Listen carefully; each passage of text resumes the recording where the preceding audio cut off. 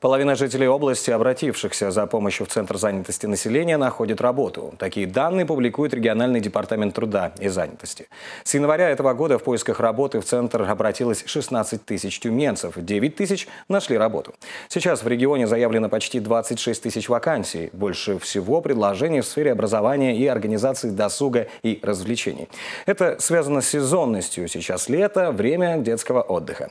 Сохраняется высокий спрос на работников строительной отрасли, самые высокие зарплаты среди рабочих специальностей обещают машинистам автокрана и электромонтажникам. Более 100 тысяч руководителям проектов и начальникам служб на производстве.